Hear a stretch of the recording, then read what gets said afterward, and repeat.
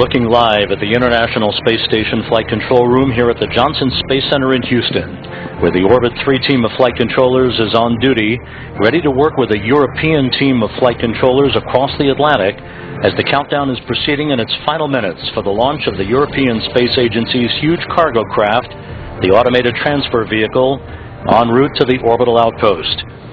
On console at this hour here in Houston is Flight Director Jerry Jason, who is also NASA's lead flight director for the mission of the ESA resupply vehicle known as the Albert Einstein, the largest cargo vehicle in the international fleet that services the International Space Station. Named after the 20th century icon of science and the founder of the theory of relativity, the Albert Einstein is poised for launch just 36 minutes from now atop a huge Ariane 5 rocket on the launch pad of ESA's launch services provider, Arianespace, that launch site carved out of the jungle in Kourou, French Guiana, on the northern coast of South America. For those not familiar with our ATV launch coverage, we'll be joining the Arianespace broadcast of launch at 32 minutes after the hour, just 20 minutes before the scheduled T0 time of 4.52 and 13 seconds Central Time, which will be 6.52 and 13 seconds in Kourou just before sunset. Aboard the International Space Station at this hour, the six crew members comprising the Expedition 36 crew are scheduled to begin their sleep period, but you can bet your bottom dollar they'll be headed for bed a little bit late tonight so they can keep tabs on the upcoming launch and the ride of the Albert Einstein to orbit. That Expedition 36 crew is led by Russian cosmonaut Pavel Vinogradov, the commander of the station, joined by his crewmates Alexander Misurkin, NASA's Chris Cassidy, Luca Parmitano of the European Space Agency, Fyodor Yurchikhin, and NASA's Karen Nyberg. It was just a week ago that Yurchikhin, Nyberg, and Parmitano launched to the International Space Station on their Soyuz TMA-09M spacecraft from the Baikonur Cosmodrome in Kazakhstan just one week ago. The final preparations for the launch of the Albert Einstein, which is the fourth in a series of five automated transfer vehicle cargo ships for the European Space Agency, began several weeks ago with the integration of the spacecraft with the Ariane 5 booster.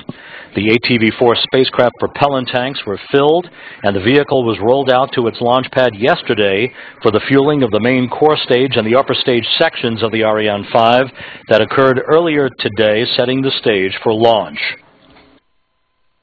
The Ariane 5 towers 168 feet in height and will be delivering to orbit not only the heaviest automated transfer vehicle yet launched, about 22 and a half tons, but the heaviest payload ever launched on any European rocket.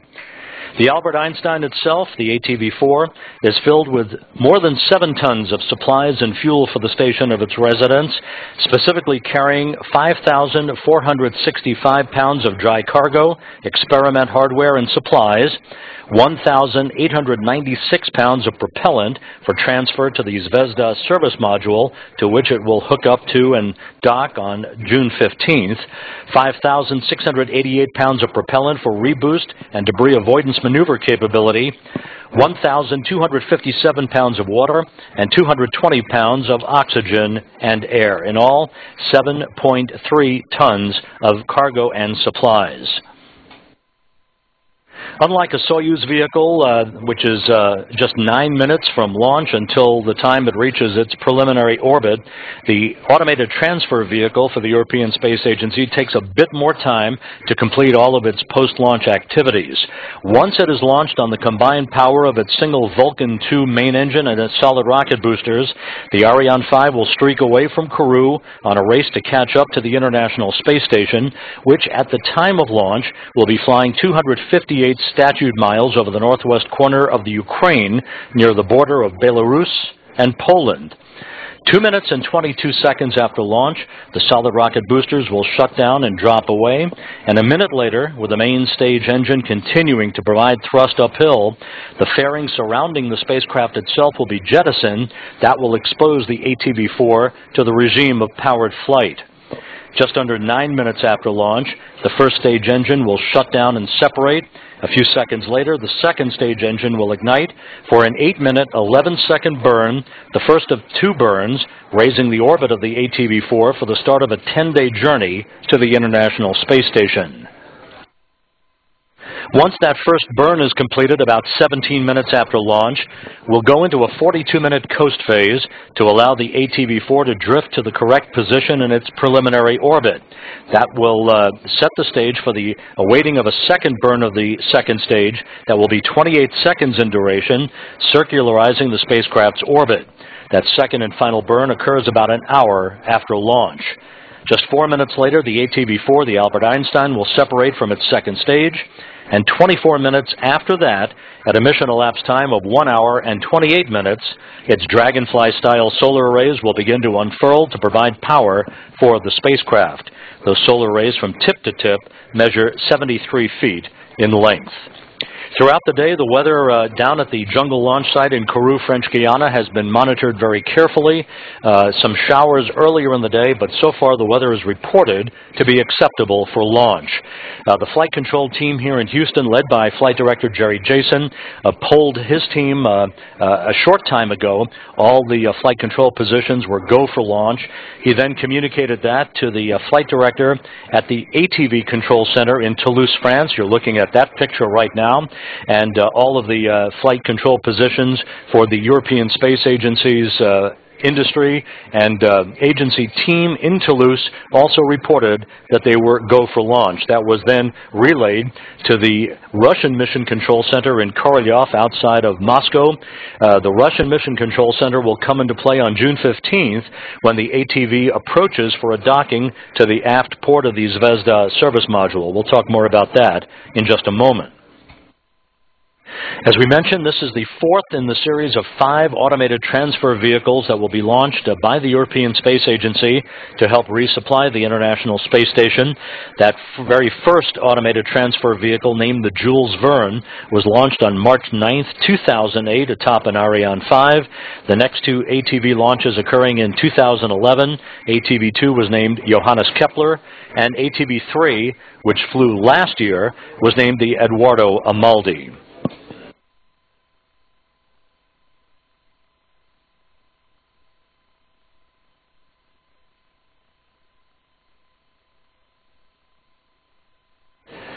We have an animation of that launch sequence for you uh, that's a bit more condensed than what I described just a moment ago. Again, liftoff scheduled at 4.52 and 13 seconds p.m. Central Time at the moment that the Earth's rotation will carry the launch site in Kourou into the plane of the International Space Station. Two minutes after launch,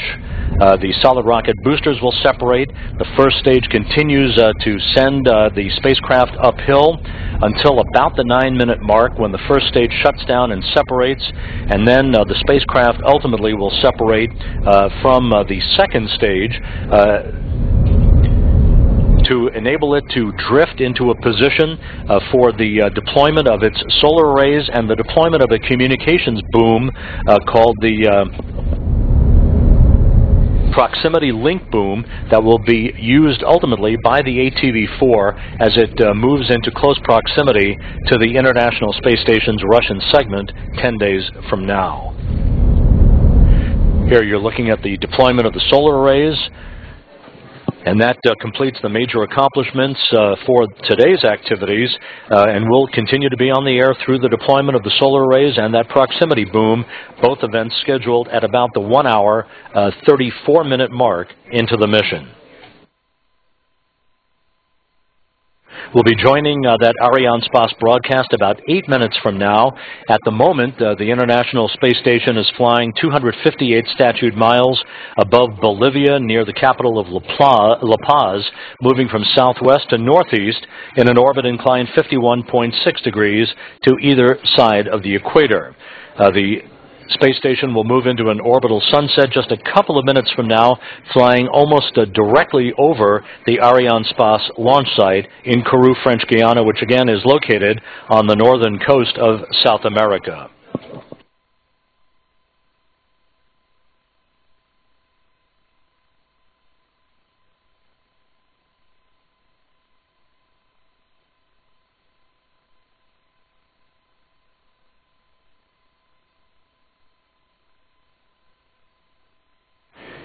10 days from now, when uh, the Albert Einstein approaches the International Space Station, there will be tremendous interest uh, by the International Space Station Partnership. If you recall back on April 24th, the Russian resupply ship, the ISS Progress 51, launched from the Baikonur Cosmodrome in Kazakhstan, but uh, shortly after reaching orbit, one of the Progress's automated Kurs rendezvous antennas failed to unfurl as planned, and the Progress went into dock two days later on April 26th with one of those antennas still folded against the side of the spacecraft. There was some very, very minor scraping detected by the crew uh, inside the International Space Station at that time, and uh, questions were raised as to whether or not the docking of the 51 Progress vehicle might have damaged in any way a series of navigational aids on the aft end of the service module called uh, retroreflectors. There are four sets of these uh, types of reflectors three sets of short-range reflect, uh, I should say long-range reflectors, and one set of laser retroreflectors, short-range reflectors, that are used to provide navigational data to videometers and telegoniometers that are located on the forward end of the automated transfer vehicle. They send navigational data back and forth, communicate, lock on to each other to provide range and rate of closure information for the ATV to slip into the aft port of the Zvezda service module at a rate of about one-tenth of a meter per second. Next Tuesday, on June 11th, the 51 Progress vehicle is scheduled to undock from the aft port of the Zvezda service module, with that undocking scheduled at 8.53 a.m. Central Time. We'll be providing live coverage of that undocking beginning at 8.30 a.m. Central Time next Tuesday, June 11th. At that time, video cameras on the Progress uh, will provide uh, the first uh, views of the aft end of the service module and those retroreflectors to see whether or not they have in fact been compromised in any way by the 51 Progress uh, docking that occurred back on April 26th. Uh, the real test, however, will not uh, be known until June 15th, docking day for the Albert Einstein, when it reaches a point just 820 feet away from uh, the Zvezda service module. At that point, called the S3 hold point uh, in the rendezvous sequence for the automated transfer vehicle, those reflectors and navigational aids uh, are scheduled to lock on to one another, and at that point, if there is a problem with any of those reflectors, uh, the ATV can abort its approach and move into a parking orbit uh, well away from the International Space Station for an indefinite period of time. There is a Russian spacewalk that is scheduled on June 24th by Fyodor Yurchikhin and Alexander Misurkin of the Expedition 36 crew that is currently uh, and ostensibly designed uh, for a number of other tasks. But if for some reason the ATV cannot dock and a problem uh, crops up that would send it into a parking orbit, aborting its approach to the International Space Station, And Misurkin then would replace a compromised set of retroreflectors with another set that was launched a week ago on the Soyuz TMA-09M spacecraft uh, to uh, put uh, that navigational system back in full operational capability. We don't believe that there's a problem. A Russian analysis and a state commission that was formed after the 51 Progress launch determined based on their ground testing that everything uh, should be fine with those retroreflectors on the aft end of the service module and that the docking of the 51 Progress vehicle on April 26th with a Kurs antenna folded and not uh, deployed uh, should have had no effect on compromising the integrity of any of those navigational aids. However, the uh, proof will be in the pudding in the days ahead as we follow the undocking of the 51 Progress vehicle next Tuesday, June 11th, and the docking of the automated transfer vehicle, the Albert Einstein, on June 15th.